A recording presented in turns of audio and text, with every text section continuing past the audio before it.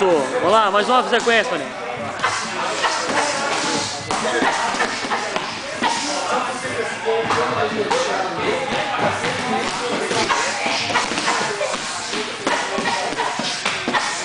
Thank